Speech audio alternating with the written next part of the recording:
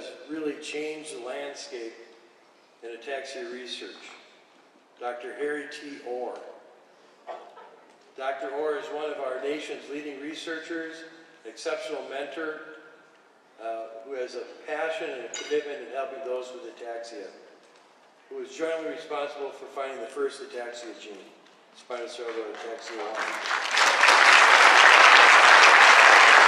Over the years, Dr. Orr received many prestigious awards and recognitions, uh, including one of the highest honors in the field of health and medicine, becoming a member of the Institute of Medicine of National Ac- Academies.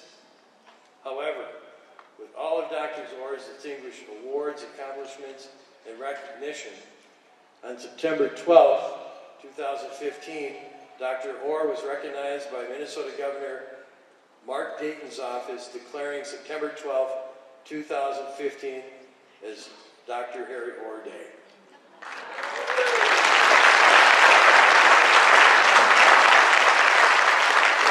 Present this plaque uh, to Dr. Orr, which reads, "In recognition of exceptional service, this honor is bestowed upon Dr. Harry T. Orr for the significant research accomplishments and the hope you give to ataxia families.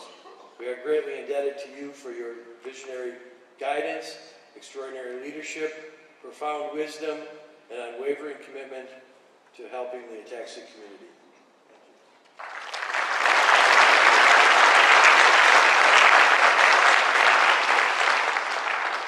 Well, I, I need to um, fess up here a little bit.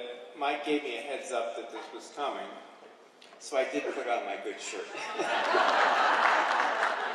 um, obviously, there are, are numerous people to thank, and, and all of you out there who you know who you are, and I do appreciate your efforts so much.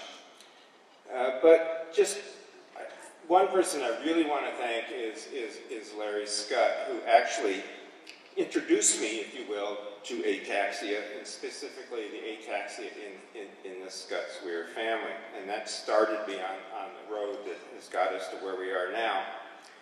And, and the only other thing I want to say is that it is indeed a privilege and an honor to be part of the ataxia community.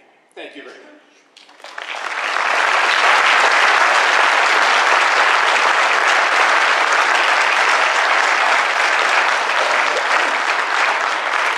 Thank you, Dr. And congratulations to all of our award recipients. Let's give them all a big round of applause.